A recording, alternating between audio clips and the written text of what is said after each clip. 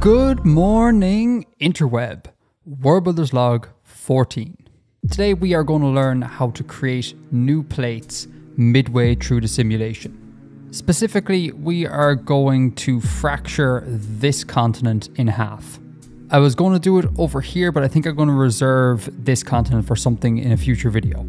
So as always, when it comes to rifting things apart, we are going to find a failed rift, say this chap, and we're going to copy him, turn them into a real rift, and use that to split the continents in half. No new information here, exact same procedure as previous videos, time-lapse mode, engaged.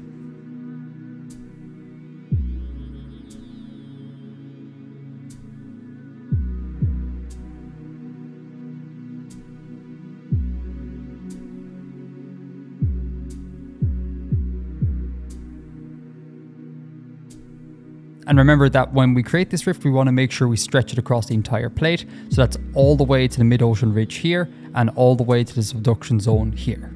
Give it a plate ID of 1, which we're reserving for rifts, and input the correct times here. In my case, I'm looking at this rift starting at 850 million years ago, continue into the distant future, call it rift 850. And like before, I'm going to set this failed rift to end at 850 and create new failed rifts on either side of the continent. Again, no new information.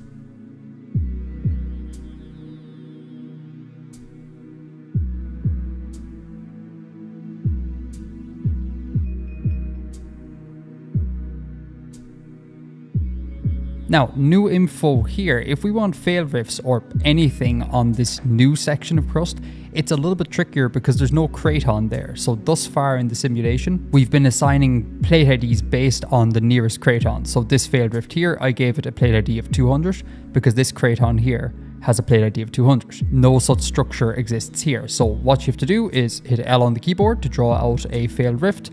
And let's pick, say, here, for example. And we'll just do a little rift. Beautiful. Go to create feature. It's a continental rift. Hit next. Now, for the plate ID, give it a plate ID of 201. That is the plate ID of this continent, but incremented one. And then everything else is normal. Beginning time, whatever is suitable. Failed rift with the timestamp noted as well. All right, and then hit next. Don't worry about this. Hit next, and we'll put it in the failed rifts feature collection, and we'll go create. So next we need to split the continent, the ocean crust, subduction zone, the island arcs, just like we did before. On the craton side of a continent, it's exactly the same as before. So I'll do all that real quick in time-lapse mode. On this microcontinent side, where we don't have a craton, where we're creating a new plate, it's a little bit different. So I'll talk us through that. So craton side, time-lapse mode, engaged.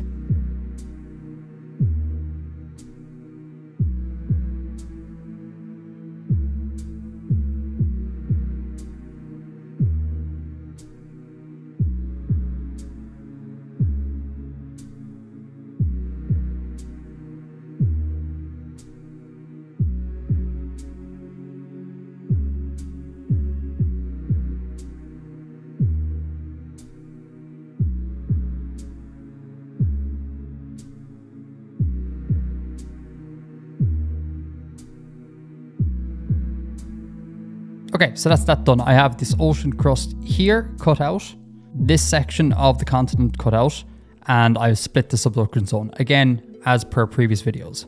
Now for the microcontinent side. So to split the continent, hit F on the keyboard, click on the continent to choose that feature. Usually we'd go to clone feature here and then just drag all the vertices. That's going to cause problems because we're creating new plate IDs.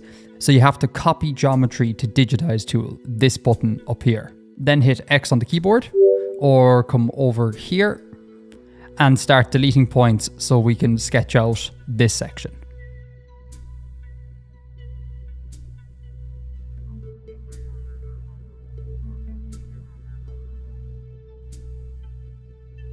Okay, so there's our little microcontinent. I'm going to go to create feature.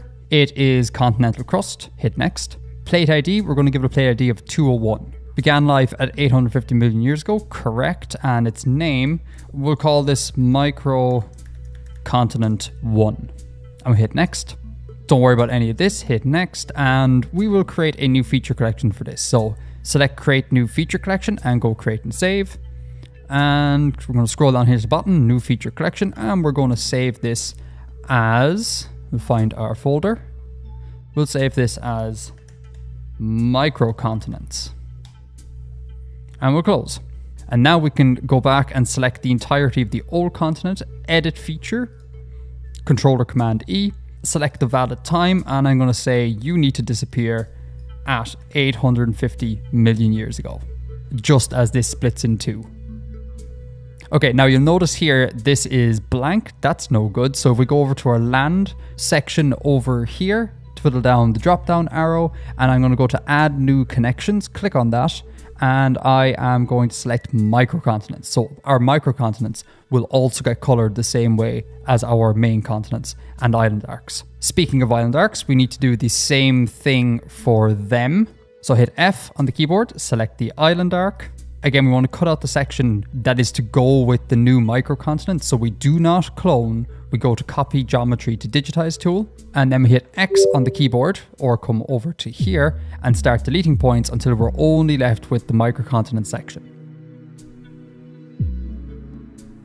There we go. Hit G on the keyboard to bring back into like polygon mode. Hit create feature.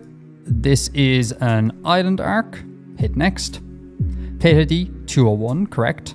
Begins at 850 million years ago, correct. And we're to say Island Arc 850. We're going to go next. Don't worry about any of this. Hit next.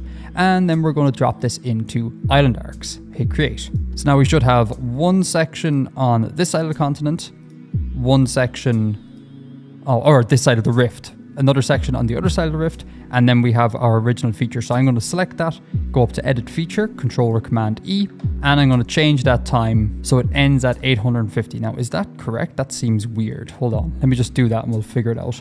It seems like it's just not going to be there at all. Um, hold on. Is that going to work for us?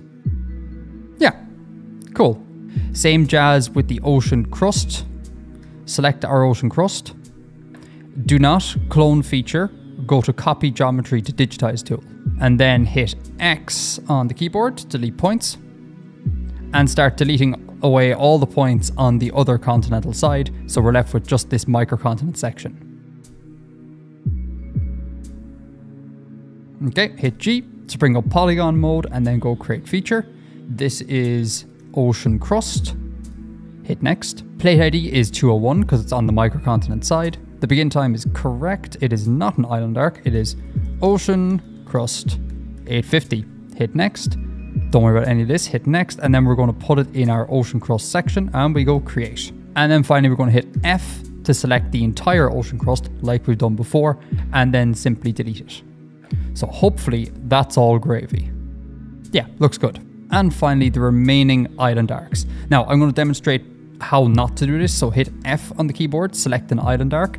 It is green, so it is going with plate ID of 200. We want it to go with this microcontinent. So again, you'd think you'd go to edit feature, control or command E, and then just simply select the plate ID and just change it to our new plate ID, 201. And you'll notice that it has disappeared. Well, actually, it's not disappeared, it's just bounced over here for reasons I don't understand. So whenever it comes to creating new plate IDs or creating new plates, you got to be really particular, otherwise this jumpy thing will happen. So I'm going to undo that, go back to create feature, and I'm just going to put its plate ID back to where it was. So to solve this, we're going to do the copy geometry to digitize tool method. Before we do that, I want to check its dating to keep everything legit. So I'm going to go back to edit feature, controller command E, and this boil was created at 950 million years ago. That's important. I need to remember that. So with it still selected, copy geometry to digitize tool, go to create feature. This is an island arc, plate ID of 201. Time of appearance here is not 850 million years ago, it is 950 million years ago when we first created it. Continues into the distant future, cool, and this is island arc 950. We go next, don't worry about it, next, and we'll drop this into island arcs and we'll go create. So now we should have two copies here. One that I created 30 minutes ago when I first booted up the system, and another that I created 17 seconds ago. So I'm going to go to the 30 minutes ago one, and I'm just going to delete that.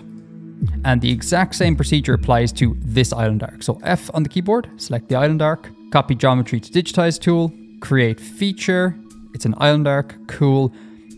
Plate ID of 201, cool, to match our microcontinent. I'm pretty sure this island arc formed at the same time as this one, so I think 950 is correct. So everything's gravy there. Next, doesn't matter about any of this. Next, and I'm going to drop this into island arcs and hit create. Again, there should be two copies here, so I'm going to get rid of the old copy and I'm going to delete that. And now we want to label the subduction zones correctly to match with the microcontinent.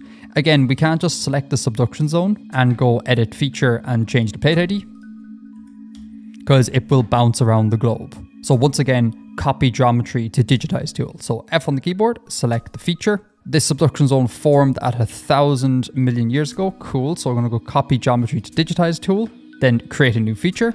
This is a subduction zone. Cool. Plate ID of 201. Great. Beginning time, 1000 million years ago. And its name is sub 1000. Next, next, and then into subduction zones we go. And we hit create. Going to select the old subduction zone, the one created 33 minutes ago, and I'm going to delete that. Exact same procedure applies to this chap here.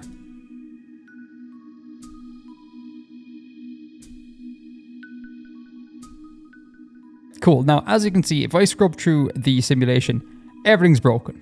That's because GPlates doesn't know what plate ID 201 is yet. So we need to code some stuff to tell it what's going on. So hit Control or Command M to bring up the Manage Feature Collections dialog and just make sure that your rotation file here is saved. So I'm going to save it and then I'm going to open up that rotation file in TextEdit. So below the relevant plate ID, in this case below anything that's labeled as 200, I'm going to insert two new lines of code with the new plate ID. So 201, that's our new plate ID, space 0.0, space 90.0, space 0.0, space 0.0, space three zeros, space exclamation mark, and this line of co code is going to be our microcontinent at the end of the simulation. Essentially, it's the exact same as what we've done before. Here, here, and here, but with a new plate ID of 201. Below that, we're going to write another line of code, 201 again for the plate ID, space. Now, for our time, we want to put in the moment that this occurs. So 850 in this case, 850.0 space, and then 90.0, space, 0.0, space, 0.0, space, 1, 2, 3 zeros, exclamation mark. And this is going to be our start moving independently. Again, akin to what was going on here. Right, so let's get rid of those line breaks, save the file, go back into gplates, hit Control or Command M to bring up the Manage Feature Collections, and for the rotation file, reload it. Okay, nothing should happen yet. Cool. Hit Control or Command D. Alternatively, go up to Reconstruction and select Specify Anchored Plate ID. Control or Command D. In this dialog box, insert the plate ID from which your microcontinent is splitting off of. So our microcontinent is splitting off of everything that has a plate ID of 200. So I'm going to put in 200 here and then I'm going to hit OK. Now, again, everything looks like it's broken and terrible, but it's okay. Don't panic. Hit Control or Command P. Alternatively, go up to Reconstruction and down to View Total Reconstruction Poles. Assuming you've done everything correctly, the anchored plate ID here should be the one that our microcontinent is splitting off of. That's really important. If it's not, this won't work. Assuming that is correct, go to equivalent rotations relative to anchor plate. And in the plate ID section here, we'll see our new microcontinent or our new plate 201, and we'll see the coordinates at this time. Those are going to be important. So I'm just going to push them over here and I'm going to open up my rotation file again. So now I am going to create a new line underneath the two lines we just created. Plate ID again is 201. Time is exactly the same as the above line. But the coordinates here are going to be these coordinates. So 70.1652 space 26.3856 That's that chap. Space. Negative 38.4047. Space. And now instead of putting three zeros, we're going to put in the plate ID that the microcontinent is splitting off of. So in our case, that's 200. Then I'm going to go space, exclamation mark, and this line of code is going to be the end following C line of code. Then copy that line and paste a new line below. Change the time, this column here, for the start of the simulation. So a thousand point zero in this instance. Don't change the coordinates, that's fine. Don't change the conjugate plate ID here, that's also fine. And maybe change the comment to microcontinent at the start of the simulation. Or rather, actually, microcontinent 1 at the start of the simulation and microcontinent 1 at the end of the simulation. So basically what we're doing is we're doing the decoupling of plates we did in the last video, but kind of in a sort of reverse order. Okay, let's lose all the line breaks. Again, I only put those in just to visually clear things up for me. Hit save, back into Gplates, controller command M, and the rotation file, I'm going to reload the rotation file. Nothing happens, that's totally fine. I'm going to hit controller command D to bring up the specified anchor plate ID dialog box, and I'm going to change this back to where it was, 000, and hit OK. Now, hopefully, everything should be fine. I'm just going to close the rifts thing here for a second, just to make it a bit cleaner. Everything should be fine. Everything should be moving okay. Yeah, perfect. No weirdness happening. But we've made it so that Gplates knows that this chunk and this chunk, including all the associated island arcs, etc., are two distinct things. So now all that's left to do is skip forward another 50 million years to 800 million years ago and move these around. No new information, exactly the same as previous videos. Time lapse mode, engaged.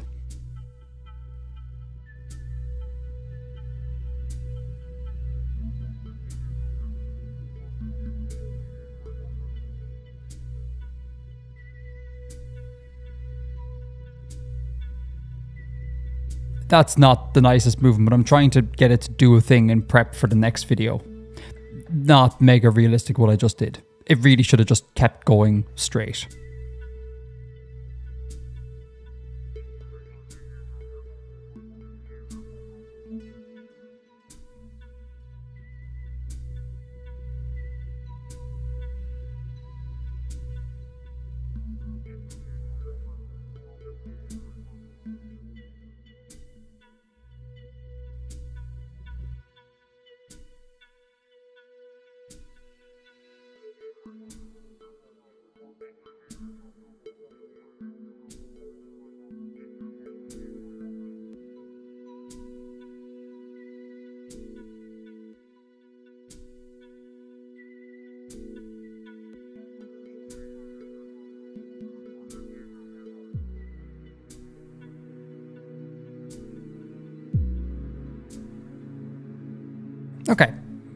I'm fairly happy with this. Uh, this isn't great, but just demonstration purposes, so we're fine. So next, as always, I'm just going to lock in the drift correction so it doesn't go do something nuts like that.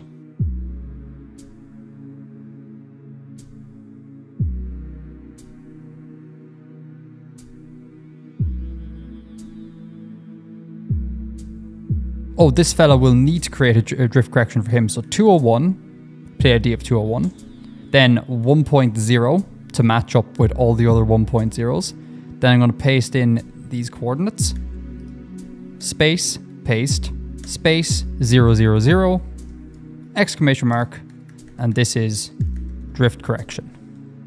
And then finally, with plate ID of 300, copy coordinates, paste them in get rid of line breaks. Oh, and I suppose it's worth mentioning, sometimes there can be a sneaky line break at the end that you don't realize that can cause G-plates to go mad, so just make sure that's also gone. And then hit save, back into Gplates, controller command M, and I'm gonna reload the rotation file. And once again, all of the flow lines just go bananas.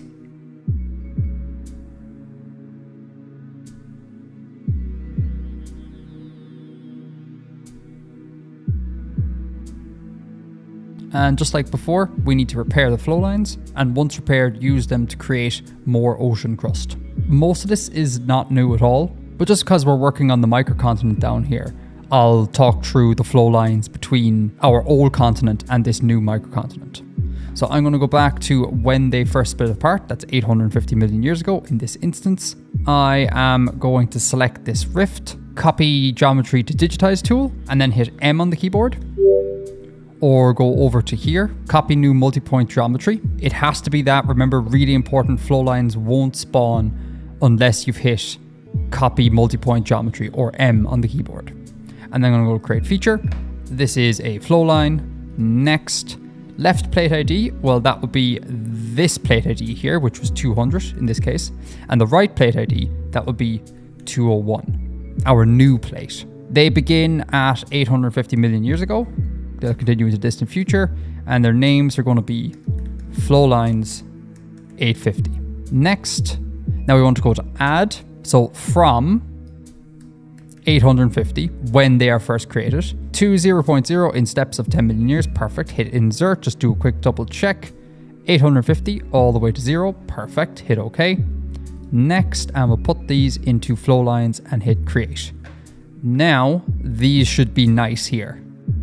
Oh, snap. Okay, not a deal breaker here at all, but I really should have put a point along the coast so we can get another flow line here. It It's fine. It's not a problem. Okay, end of my timestamp, 800 million years. To hit F on the keyboard. To select those flow lines. Copy geometry to digitize tool. Then hit G on the keyboard. Or come over here to digitize new polygon geometry. And now I am going to create ocean crust for this new rift.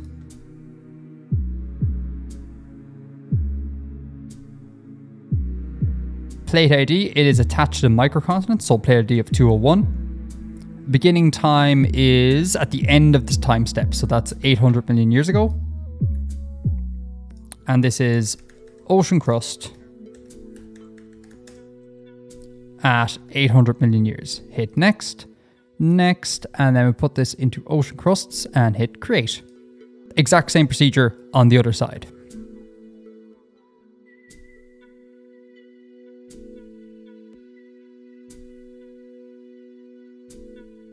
Okay, cool. Okay, now let's sort out these flow lines. So I am going to delete those and I'm going to go back to where these continents rifted, rifted apart. So that would be mm, 850. Oh, not 850, sorry, that would be 900. Yes, there we go. Now I'm going to scrub through and I'm going to need to split this rift. So we get one set of flow lines that go between pink and green and another set of flow lines that go between pink and microcontinent. So where is that split occurring? Well, it's there because that's the rift that we re-engaged. Yeah, perfect. So back to the moment of rifting, 900, F on the keyboard, select the rift and then hit T on the keyboard. And I'm going to split that line here. So we should end up with half a rift on this side and half rift on this side. Perfect. Select whichever half you want, copy geometry to digitize tool, make it points by hitting M on the keyboard. Go to create feature. This uh, These are flow lines. Left plate ID, we'll call that 300. And the other plate ID, the right plate ID, we'll call that 201. So we're stretching it between here and here. Perfect. These will begin at the moment of this rifting, so that's 900 million years. And these are going to be flow lines 900. Cool. Next. Now we want to add some flow lines. So from 900 million years ago to zero in steps 10, insert, do a quick check. 900 to zero, perfect. Hit OK. Next. And we'll put these into flow lines and hit create. And then hopefully they will split off really nicely for us. Brill. Okay, cool. Now I'm going to put in some ocean crust, same as before, time lapse mode engaged.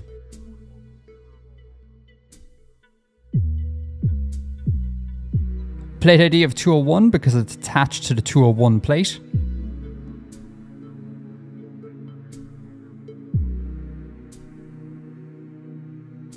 Plate ID of 300 because it's attached to the 300 plate. Okay, and then same deal for the other side of the rift, except this time linking pink to green, 300 to 200.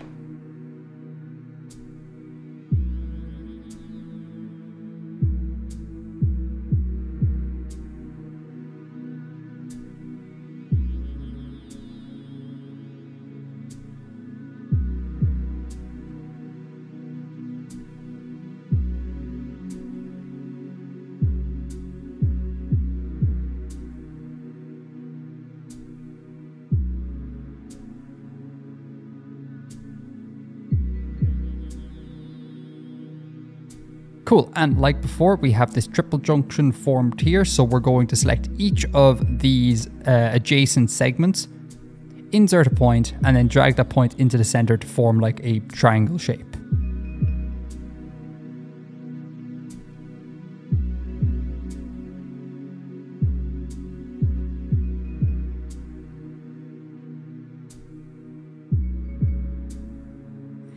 All right, now same deal as before. We're going to connect up 100, 300 and 100 to 200. So we're going to have to go back to our initial rifting event. In fact, actually, let me just kill the flow lines as they are. We can delete you. Perfect.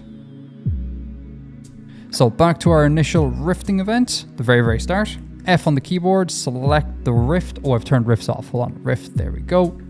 And same thing again. Copy geometry to digitize tool, make that point, make it flow lines, etc. You know the deal.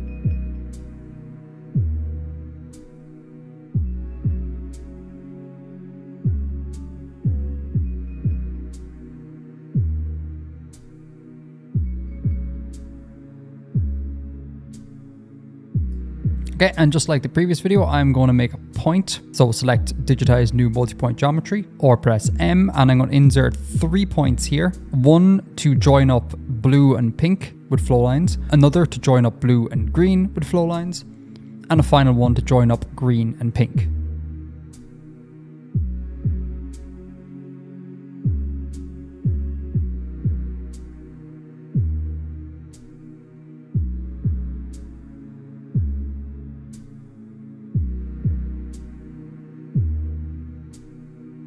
Okay, and now I'm going to extend these bits of ocean crust up to meet these new flow lines. So F on the keyboard, select the ocean crust. I'm going to hit I on the keyboard to insert a point. I'm going to insert two points, one here and one here. Hit V on the keyboard and then drag those points into position. Same thing all around.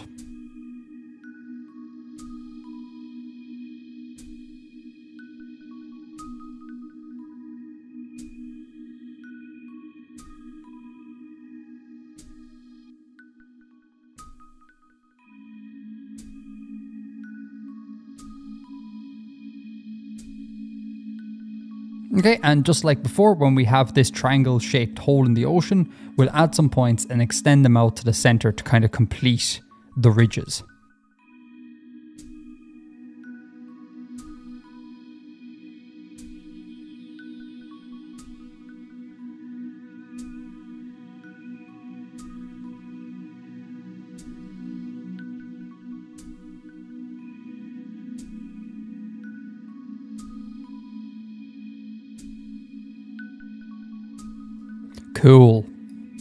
Okay, so that is that. Over the past few videos, we've basically looked at all possible divergent boundaries. I can't think of any other way of how might one might want to split apart continents. We covered how to split continents apart into independently moving cratons and co-moving cratons, and then we learned how to split those apart. And in this video, we learned how to split apart microcontinents from other continents. Those handful of techniques will do the entire simulation for you when it comes to the divergent boundaries. In the next video, we're going to look at convergent boundaries, how to work it when continents collide again. So stay tuned. Thanks for watching, folks. Thanks to World Building Pasta, whose methodology this is. Thanks to Vanga-Vangog, resident artist. And until next time, Edgar out.